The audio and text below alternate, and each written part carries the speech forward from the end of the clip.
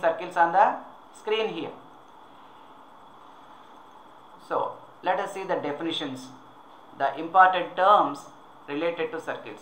The collection of all the points in a plane which are at a fixed distance from a fixed point in the plane is called a circle. Then, the fixed point is called center and the fixed distance is called radius. Okay. Next, the circle divides on on uh, the plane on which it lies into three parts. One is interior, the circle and the exterior. The circle and its interior make up the circular region. Now the elements of circle, well once again we will just go through these quickly. Center, you must know what is a center. Center units, you know, the fixed point, okay, and radius is the distance between that fixed point and any point on the circle or off the circle. Chord, chord is a line segment joining any two points of the circle.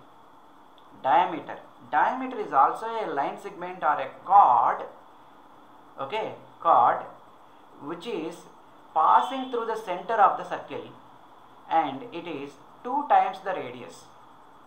And what is an arc? We will understand that in the, in the next uh, coming slides uh, better. What is an arc? Let me tell you the definition first. Arc is a part of the circle is called arc. That means that curved part. Okay. Next, if the uh, that curved part is larger or la la large, it is called major arc. If it is a small one, it is called minor. Suppose that arc is exactly half half of that circle, then it is called semicircle. It is called semicircle. The length of the entire circle or length around the circle also you can say it is called circumference. Okay.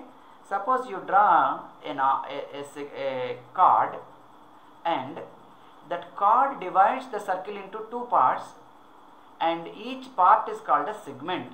Each part is called a segment. In English, segment means a part actually.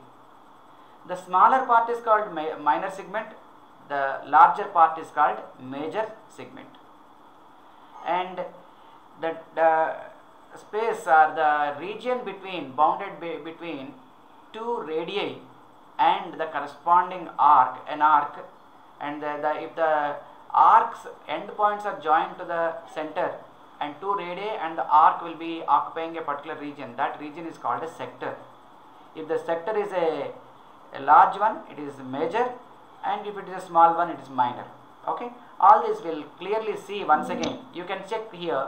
You see the path of the path of the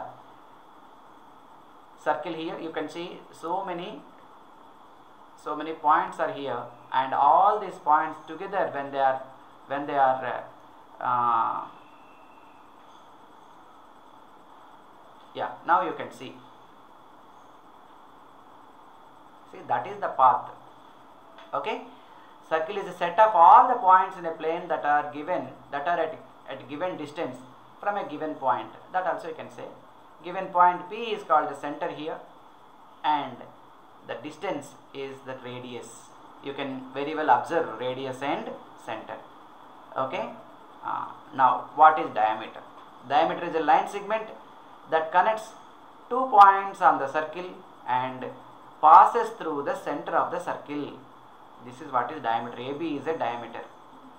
Can you tell me how many diameters are there in a circle?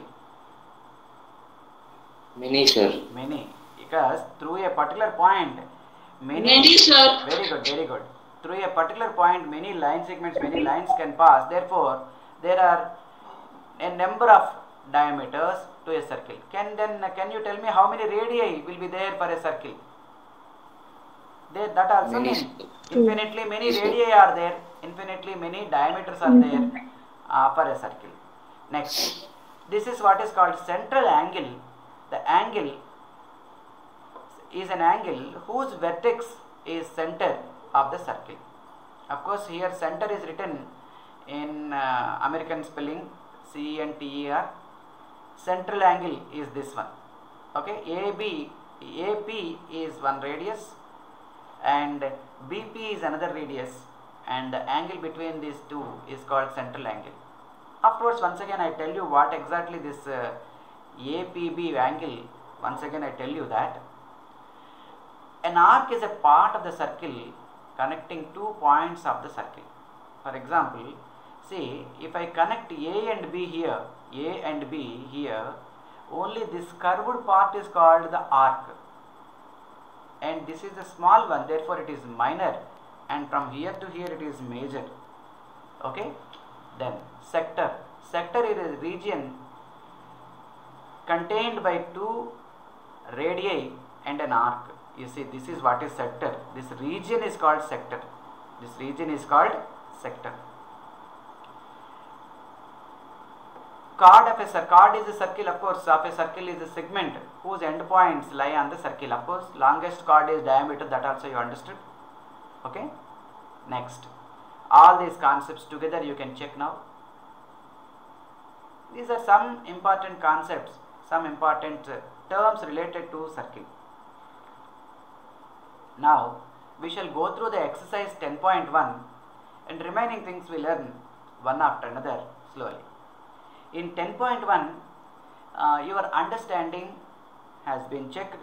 And uh, these are like fill in the blanks true or false questions. All these may come in mcqs objective type questions in the exams in the coming exams maybe pt2 or final exam etc fill in the blanks. The center of a circle lies in dash of the circle. So all of you first Interior of the circle. Okay, I understand uh, you are telling correctly. Interior. First, uh, first, I will put all the questions one after another, and then you keep reading them. Keep reading them.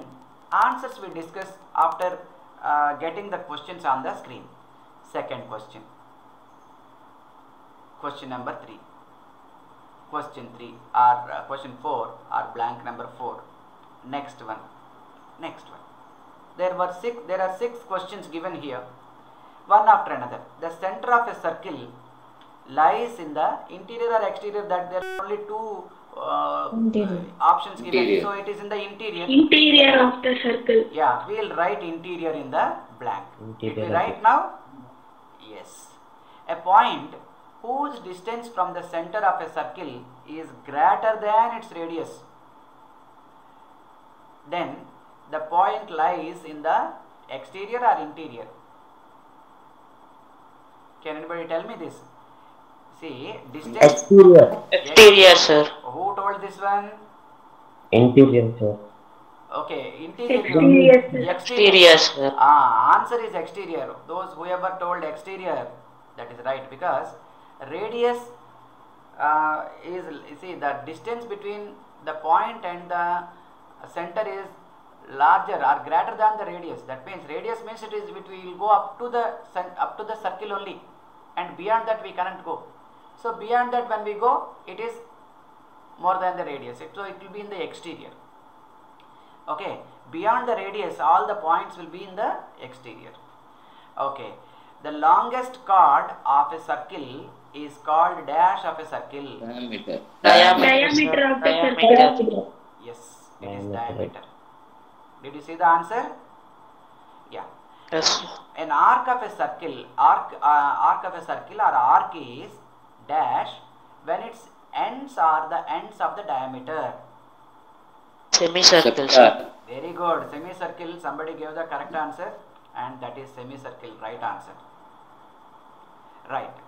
Segment of a circle is the region between an arc and dash of the circle. Chord, sir. Chord. Chord. Chord of the circle. Corresponding chord we can say of course, but chord is the right answer. Okay. Now, a circle divides the plane in which it is there into three parts.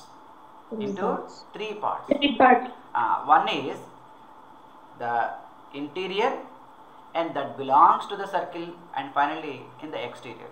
Children in the childhood days or even now children will be playing many people many people will be playing a game. They will draw a circle and stand on the circle in a, in a in, in circle and somebody will be telling in the pond on the bank out in on out you play. Is it not? When you play when you say in all should jump into into the pond. If they say if somebody does in reverse he or she is out. So this game we would have played in the childhood days. Uh, this exactly says that a circle divides the plane into three regions or three parts. One is the interior. The points that all the points that belonging to the interior of the circle and all those points that belong to the circle and finally all those points that belong to the exterior of the circle. If the distance between the center and a point is exactly equal to radius that will be that that point lies on the circle if it is less than the radius the point lies in the interior. If it is greater it will be in the exterior. Now there are uh, in question number 2 some statements are given. You have to say whether they are true or false. Here are the questions. first you see the questions all of you. These questions you study first. Line segment joining the center to any point on the circle is a rad is the radius of a circle is it true or True, false sir.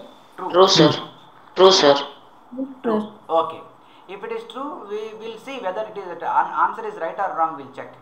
Yeah, true. True is the right answer. We'll go back. Circle has only a finite number of equal chords. Is it true? False, sir. False. Who False. said, who said this one? Dheeraj, sir. Dheeraj. Okay, good. Let us see whether your answer is right or wrong. It is false, correct? What you said is right. Okay, now check the next one. If a circle is divided into three equal chords, if a circle is divided into three equal arcs, sorry, each is a major arc. False, sir. False. False. Because equality you keep it keep aside. If it is divided into two arcs, then one of It them is divided into Ah, four arcs also means uh, ah, right, right. Okay, it is false. Right answer. Now suppose now I will ask you one more question here. Another question is here. Very nice question. A chord of an, a circle which is twice as long as its radius is a diam is the diameter of a circle. True, sir. True. True, sir. Yeah, true. Right. Right answer. Now, sector is a region between the chord and its corresponding arc. false. False. Ah, it is not sector, it is segment actually. Segment is the region between chord and its corresponding arc, is it not? So it is false, right? Last question. Circle is a plane figure. True, sir. True, True. sir. It is true. We all know this one. We all know this one. So with this, we completed the first segment. Say this is the line segment AB. Now, I took another point here somewhere C. I am joining these points A and C, B and C. While joining like this, what happened? An angle is formed at C. An angle is formed at C. This angle C is called angle subtended by line segment AB. What do you say? Angle subtended by line segment AB. Subtended. S U B T E N D E D. Okay, let me write that if you want. I will write it here.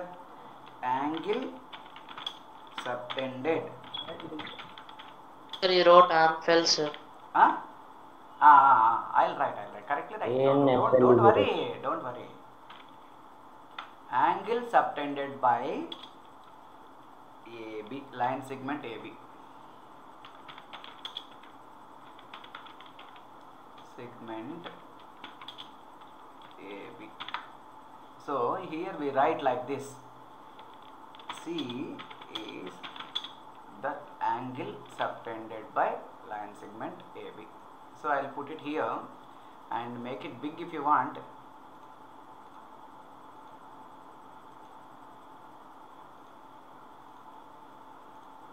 So C is the angle subtended by line segment AB. Okay. Then uh, now can you tell me A is also angle subtended by CB. Will you agree or not?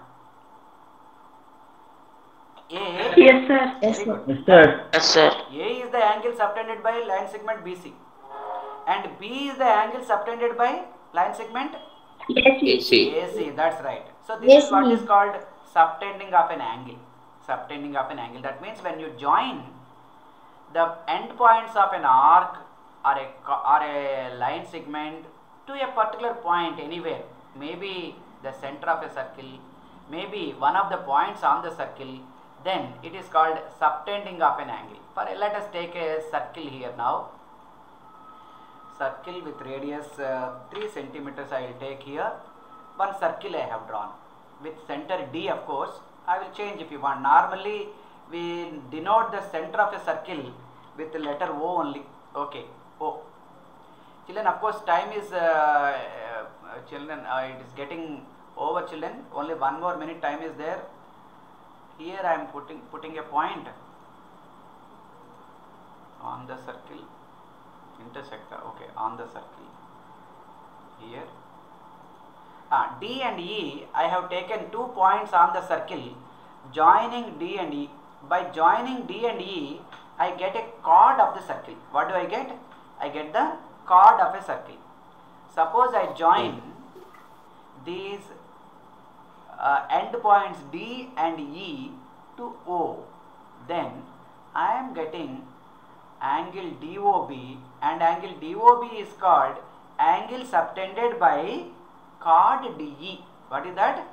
Angle subtended, DE. ah, angle subtended DE. by chord DE. Next, if these two points can be, these two points can be added here also.